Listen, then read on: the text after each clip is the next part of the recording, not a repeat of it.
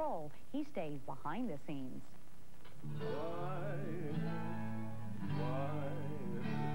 The man in black climbed into his studio saddle to sing about one of the men in white.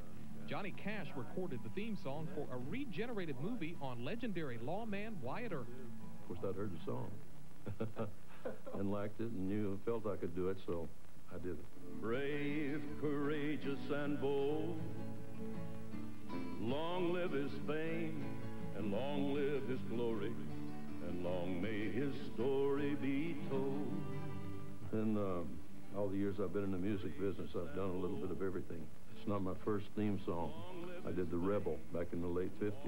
Um, I've done a lot of different things for films and television. And, uh, but this was pretty, this was pretty easy, yeah. straight ahead. I enjoyed it.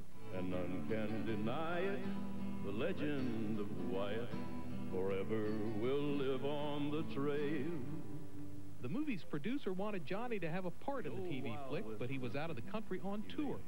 Getting Johnny to do a contemporary version of the Western theme song was just what Rob Word says the new film needed. We've got Johnny, and we are blessed with having him uh, lend his talents to this because he's not just a singer, he's a storyteller.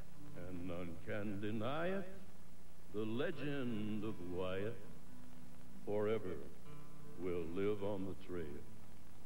Thank you, Terry Bumgarner, for that report. You'll be able to catch Wyatt Earp return to Tombstone in June on CBS. Look